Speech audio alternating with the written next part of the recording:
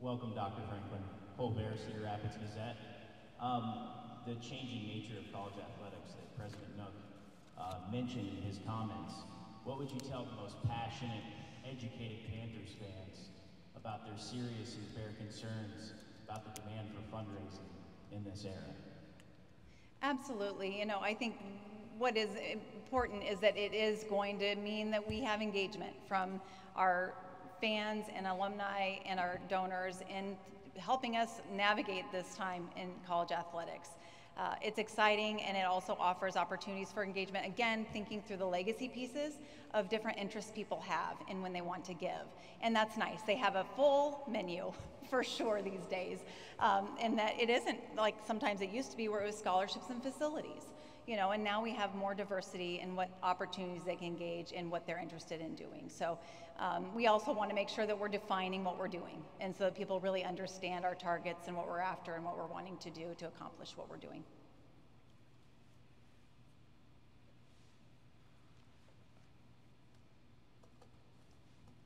Ethan Petrik, Waterloo, Cedar Falls Courier. Welcome to Cedar Falls. Uh, when going through the interview process, what concept, what idea of support from the university side of things did you get would be there for the athletic department when you took over? Thank you.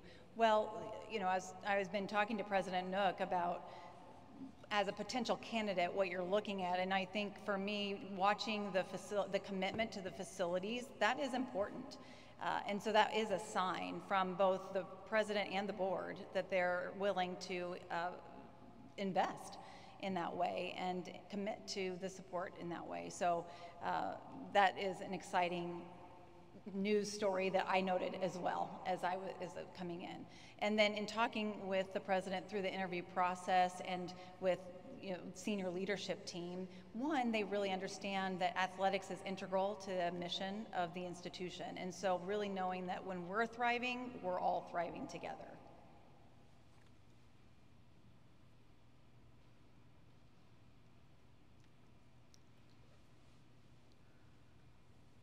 What do you feel is your chief responsibility in this role? My chief responsibility is to support the coaches, student athlete, and staff to be their best self. Really understanding what it is that they need, how I can be a resource, and if there are roadblocks and challenges they're facing, what is that? So it's really so relationship driven, but it's all about helping other people thrive. What would you point to most productive about uh, Bob Bowlesby's presence as an interim athletic director and what I would imagine your ability to really start in a way in a manner in which you would as a result of his presence? Right.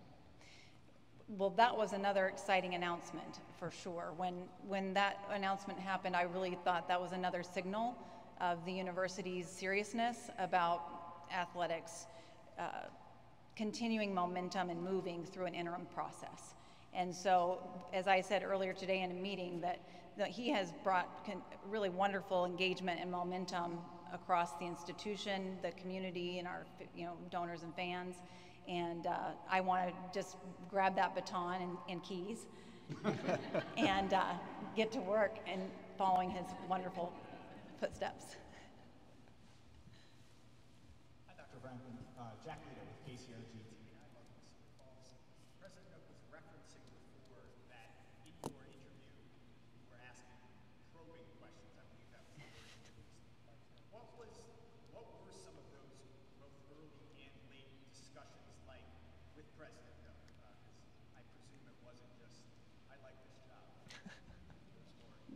That's right. So some of the questions that I was considering, you know, that wanting to hear from. Oh yes. So the question was, what probing and fascinating questions did I ask um, President Nook in the interview process? Uh, and so, you know, for me, it was important to hear about the focus and the what did he sees? What does he see as uh, you know the goals for athletics? How does he see athletics integrated into the mission of the institution? Um, you know, what leadership opportunities do I have? Again, I'm on the senior leadership team, which I'm very, you know, which is an, is not like that everywhere.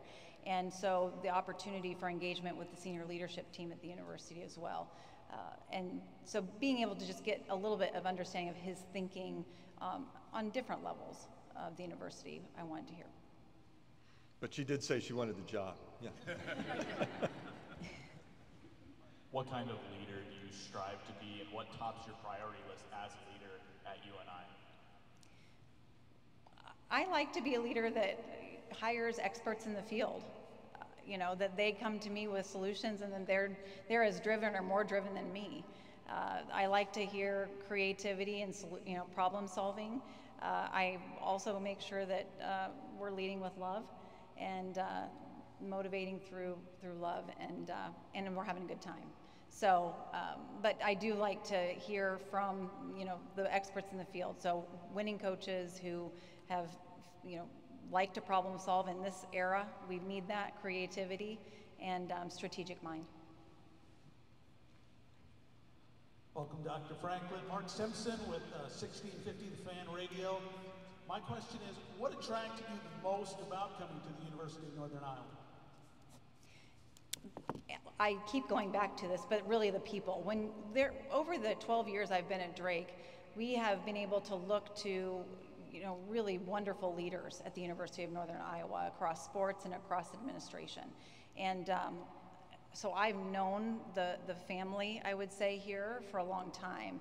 And so when you know that you're going to be coming into a family atmosphere, that is a great way to start. And I also know quite a bit of quite a few people, so they, they, they know my heart as well. And so I like to win, I like to be competitive, and I like to do it the right way.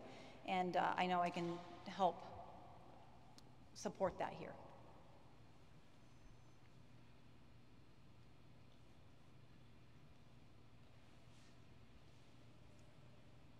Spoken on your experience and some of the projects you've been a part of. I'm curious what you're most proud of. What project are you most proud of in your career, be it from Drake, Virginia Tech, even early in your career as an athletic trainer? What, what, what project have you been a part of yeah. that you're most proud of? You know, I think you'll always, what you always want to talk about is graduation you know, and I think that is that's always a starting point. When you see student athletes graduating and, and the students I talked about earlier graduating, uh, that's a really special moment. Um, you know it is in their lives and you know what they've been through, especially now when we've been through COVID and what these student athletes have persevered through. That's a really, that's been a really tough time. And so those are really special graduations to, to go there. And I think too, when you see the championships and when you, winning is a culmination of a whole lot of hard work and a lot of, you know, staff and you know everyone who's worked around the programs when you get to when you get to cut down the nets that's a pretty special moment. So it, really it's not about me in a project. It's usually celebrating the work that's gone together to see the culmination of a lot of work of a lot of people uh, that have found that day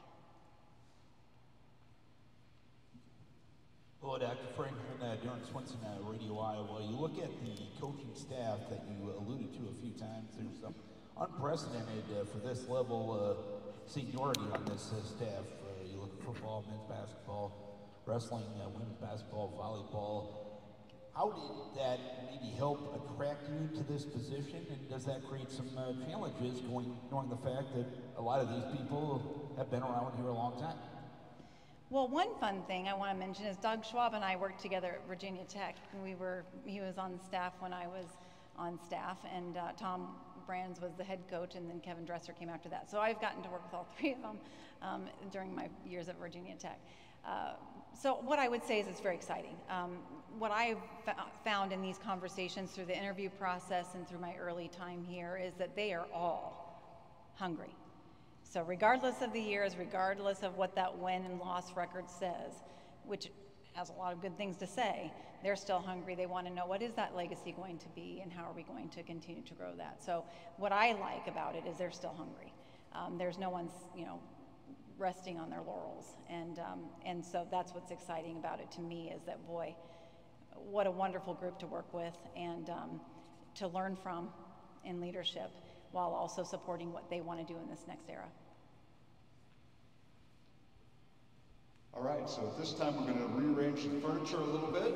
We're going to invite the uh, media to come up. We're going to take some photos, and then if any of you